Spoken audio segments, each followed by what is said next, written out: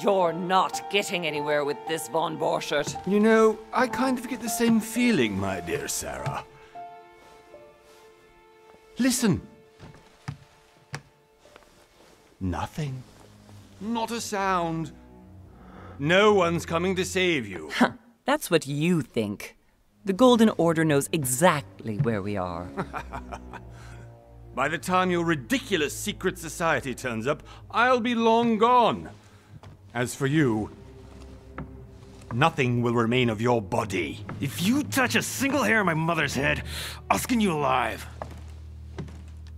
You know, Louis, I have no intention of beating your dear mother. There are more persuasive ways of making you talk. You've stolen something from me that I intend to get back.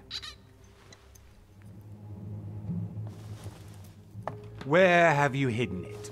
Von Borchert, you can't sell that book on the black market anymore. This is finished. We know you're planning on selling at one of Lord Mortimer's parties. All right?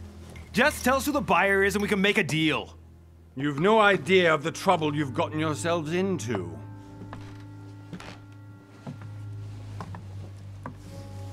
Oh, but you will tell me where it's hidden. I can promise you that. Stop annoying our host, Louis. Son, didn't what happened to you in Rome teach you anything? Just a few more minutes and my concoction will be ready. With this, your bodies will dissolve in less than four hours.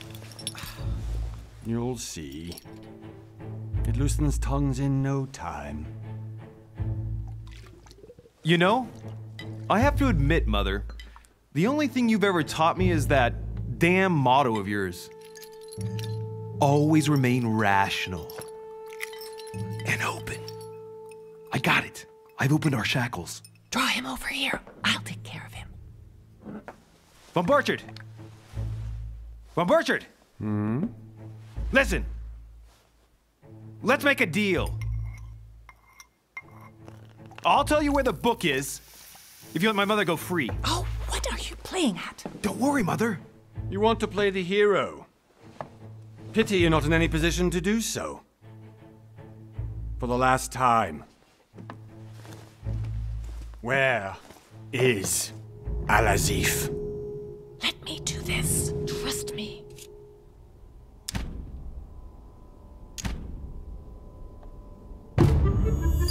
Please, be my guest, Mother.